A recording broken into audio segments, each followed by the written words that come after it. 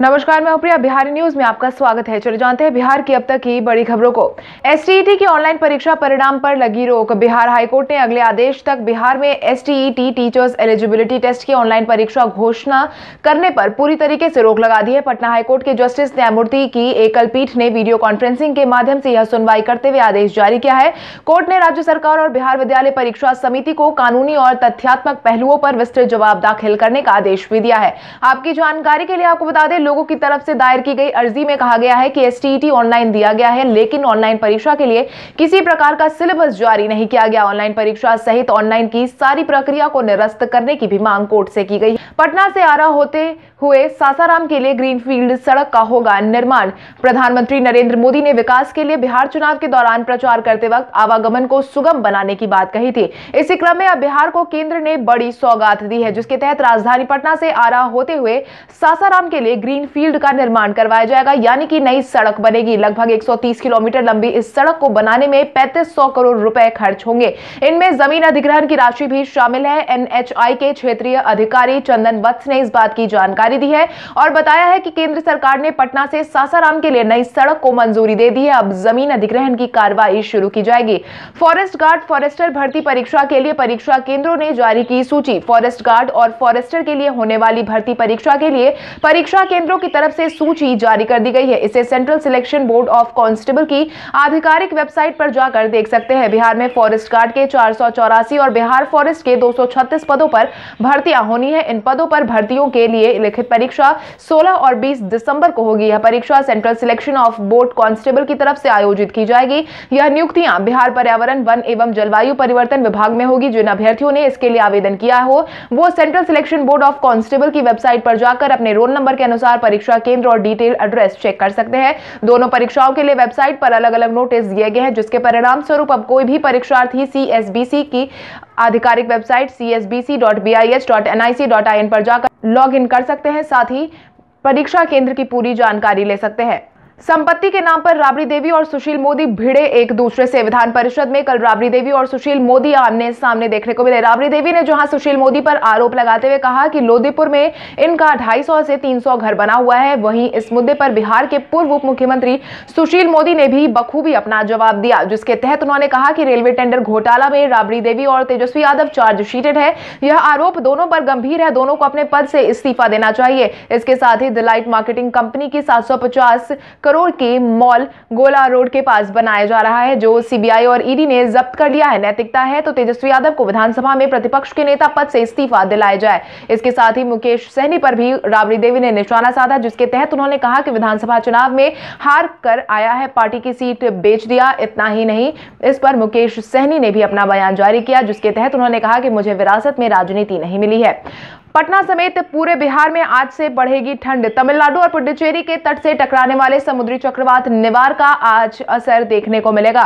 हालाँकि शुक्रवार को भी पूरे बिहार में यह देखा गया। शुक्रवार पूरे दिन बिहार में बादल छाए रहे। कहीं कहीं जगहों पर धूप भी देखने को मिली और देर रात तक कई जगहों पर छिटपुट बारिश होने की संभावना भी जताई गई है। वैज्ञानिकों की माने तो शनिवार की शाम से आसमान साफ़ हो जाएगा और अगले चौबीस घंटे में हवा के पैटर्न बदलने के आसार है। रविवार से पछुआ हवा बहने की संभावना संभावना है। ऐसे में इनके साथ ही रात के तापमान में भी गिरावट देखने को मिल सकती है। इसके बाद प्रदेश में ठंड बढ़ जाएगी। पश्चिमी विभोक्ष की दस्तक और निवार तूफ़ान का असर बिहार में भी शुक्रवार को देखने को मिला और दिन का तापमान चार डिग्री सेल्सियस कम दर्ज किया गया। आज बिहारी बर्थडे स्पेशल में हम बात करेंगे महाराजा सर कामेश्वर सिंह गौतम की। महाराजा सर कामेश्वर सिंह गौतम का जन्म बिहार के दरभंगा ज़िले में आज ही के दिन साल उन्नीस सौ सात को हुआ था। महाराजा सर कामेश्वर सिंह गौतम दरभंगा के महाराजा थे। उन्होंने उन्नीस से उन्नीस सौ बावन तक मिथिला क्षेत्र में अपने परिवार परिवार के संपदा पर अपना खिताब रखा, जब भारत की स्वतंत्रता के बाद इस तरह के शीर्षक समाप्त कर दिए गए थे। बिहार पुलिस दरोगा भर्ती के मुख्य परीक्षा 102 केंद्रों पर होगी कल। बिहार पुलिस अवर सेवा आयोग की तरफ़ से रविवार को दरोगा की मुख्य परीक्षा ली जाएगी। परीक्षा की सभी तरह की तैयारियाँ पूरी कर ली गई है। परीक्षा को बेहतर तरीके से आयोजित किए जाने के लिए सभी तरह के निर्देश भेज दिए गए हैं। परीक्षा में किसी तरह से सवाल नहीं उठे, इसे लेकर विशेष इंतज़ाम भी किए गए हैं। परीक्षा केंद्रों पर जैमर भी लगा दिया गया है। इसके साथ ही राज्य के बारह जिलों में में 102 परीक्षा केंद्र बनाए गए हैं। इनमें पटना में काफ़ी संख्या में केंद्र बनाए गए हैं। मुख्य परीक्षा के लिए करीब पचास परीक्षार्थी सफल हुए थे, जिसमें से दो पदों पर नियुक्ति होनी है। दूसरी तरफ़, आयोग की तरफ़ से कोविड 19 के माहौल को देखते हुए परीक्षा की व्यवस्था में विशेष इंतज़ाम किए गए हैं। इसके अलावा, परीक्षा के दौरान सोशल डिस्टेंसिंग का पूरा पालन किया जाएगा। छात्रों को परीक्षा केंद्र पर एक घंटे पहले रिपोर्टिंग के लिए बुलाया गया है। लालू की बेटी राजलक्ष्मी ने नीतीश पर कसा तंज। बिहार विधानसभा सत्र का अंतिम दिन गहमा गहमी के बीच संपन्न हुआ। इस दौरान सत्ता पक्ष और विपक्ष के बीच पारिवारिक बयानबाजी भी देखने को मिली। खासतौर से मुख्यमंत्री नीतीश कुमार, तेजस्वी यादव के बीच शब्दों की गरिमा देखने को नहीं मिली, जिसके बाद दोनों के परिवार पर व्यक्तिगत टिप्पणी भी की गई। वहीं इस पूरे मुद्दे को लेकर लालू प्रसाद यादव की छोटी बेटी राजलक्ष्मी यादव ने सोशल मीडिया से नीतीश कुमार पर निशाना साधा है, जिसके तहत उन्होंने कहा कि मैं अपने सभी भाइयों और बहनों में सबसे छोटी हूँ और दोनों भाइयों के बाद हूँ नीतीश कुमार जी, आपका एक ही पुत्र है। क्या आपको बेटियों से डर है? आपको शर्म आनी चाहिए जो अपने बौखलाहट में, जो आपने भाषण दिया है, आपकी घटिया सोच बताती है और आपको शोभा नहीं देती। विचार करिए। राजधानी पटना में दिखा कोरोना का कहर। देश भर में कोविड 19 की बढ़ती संख्या को देखकर हाहाकार मचा हुआ है। बिहार में भी कोविड 19 के मामलों की संख्या बढ़ती जा रही है। राजधानी पटना में प्रशासन ने चौदह नए कंटेनमेंट जोन बनाए हैं। सबसे अधिक सात कंटेनमेंट जोन पटना सदर अनुमंडल में बनाए गए हैं। वहीं पटना सिटी में पाँच और कंकड़बाग में तीन जोन बनाए गए हैं। जिला प्रशासन द्वारा जिन इलाकों को कंटेनमेंट जोन बनाया गया है, उसे सील करने की कार्रवाई आज से शुरू कर दी गई है। बताया जा रहा है कि जिन इलाकों को कंटेनमेंट जोन घोषित किया गया है, उनके प्रवेश द्वार पर ही बैरिकेडिंग की जाएगी। मधुबनी में मुख्यमंत्री नीतीश कुमार की सभा में आलू प्याज फेंकने वाला आया पुलिस के हाथ। बिहार विधानसभा चुनावी रैली के दौरान मधुबनी ज़िले में आयोजित जनसभा में मुख्यमंत्री नीतीश कुमार की सभा में एक व्यक्ति ने उन पर आलू प्याज फेंका था, जिसके बाद तमाम तरह की बयानबाजी देखने को मिली थी। वहीं मुख्यमंत्री नीतीश कुमार की सुरक्षा व्यवस्था पर भी सवाल उठाए गए थे। जिसके बाद अब हरलाखी पुलिस ने चुनावी सभा के दौरान मुख्यमंत्री नीतीश कुमार पर आलू प्याज फेंकने वालों को हिरासत में ले लिया है। बिहार विधानसभा चुनाव प्रचार के दौरान यह वाक्य हुआ था। मिली जानकारी के अनुसार हिरासत में लिया किया गया। व्यक्ति गणगौर थाना क्षेत्र के राजनंदन यादव के रूप में पहचाना जाता है। हालाँकि चुनावी रैली के दौरान सीएम ने मंच से ही उसे छोड़ देने का निर्देश दिया था, लेकिन सीएम के कार्यक्रम के बाद वरीय अधिकारियों के निर्देश पर हरलाखी पुलिस ने मामले की जाँच कर प्राथमिकी दर्ज कर ली थी।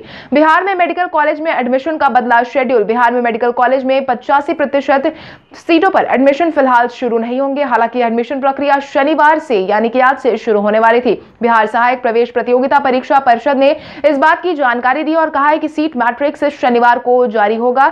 मेरिट लिस्ट पहले के अनुसार ही रहेगी। लिस्ट बीसीईसीईबी के वेबसाइट से डाउनलोड कर सकते हैं। मेरिट लिस्ट में आने वाले स्टूडेंट्स को रजिस्ट्रेशन का एक और मौका दिया गया है। मेरिट लिस्ट में शामिल स्टूडेंट सीट अलॉटमेंट के लिए चॉइस फिलिंग अप उनतीस नवंबर से एक दिसंबर तक कर सकते हैं। बीसीईसीईबी ने कहा कि 24 नवंबर तक चॉइस फिलिंग और लॉकिंग से वंचित होने वाले स्टूडेंट्स को एक और मौका दे दिया गया है। टीम की पहली हार पर भड़के Harbhajan Singh. Sydney cricket ground में खेले गए पहले वनडे मैच में भारत की टीम को ऑस्ट्रेलिया के हाथों छियासठ रनों से हार का सामना करना पड़ा। ऑस्ट्रेलिया की तरफ़ से कप्तान एरॉन फिंच और स्टीव स्मिथ ने बेहतरीन बल्लेबाजी करते हुए शतकीय पारी खेली, जबकि मैक्सवेल ने आखिरी के ओवरों में ताबड़तोड़ बल्लेबाजी करते हुए ऑस्ट्रेलिया को तीन सौ चौहत्तर के मज़बूत टोटल तक पहुँचाया। जवाब में हार्दिक पांड्या ने नब्बे और शिखर धवन ने चौहत्तर रनों की पारी खेली। इसके बावजूद भी भारतीय टीम पचास ओवर में आठ विकेट के नुकसान पर मात्र तीन सौ आठ रन ही बना सकी। की इसके बाद ऑफ़ स्पिन गेंदबाज हरभजन सिंह ने टीम के प्रदर्शन से नाखुश होकर के उन्होंने हार के लिए भारत की फील्डिंग को जिम्मेदार ठहराया है। चीज़ें भारत के पक्ष में नहीं गई है, उन्होंने ये भी कहा है। मैं यह ज़रूर कहूँगा कि भारत ने टुकड़ों में अच्छी क्रिकेट खेली है, लेकिन टीम की फील्डिंग काफ़ी खराब रही। बहुत मिसफील्ड हुआ, बहुत कैच भी छूटे, जो हार का कारण रहा। सना खान ने पति के साथ किया अपनी तस्वीर शेयर। सना खान निकाह के बाद शादी की फ़ोटो शेयर करती रहती है। हाल ही में उन्होंने अपनी नई तस्वीर शेयर की है, जिसमें वो व्हाइट गाउन में नज़र आ रही है। सना इसमें काफ़ी खूबसूरत लग रही है। एक फ़ोटो में सना अपने पति मौलाना मुफ्ती अनस के साथ नज़र आ रही है। इन फ़ोटोज़ को शेयर करते हुए सना ने लिखा, मैंने कभी नहीं सोचा था कि हलाल प्यार इतना खूबसूरत होगा।